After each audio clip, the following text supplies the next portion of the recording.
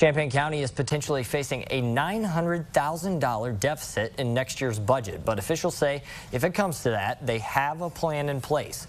Board member Stephanie Furtado says many of the expenses can be attributed to an increase in health care costs and additional resources for the court system. She says no services will have to be reduced. That's because if a deficit does occur, the county will tap into its more than $1 million savings. Furtado says they will continue to look at the needs for funding and to plan for the future.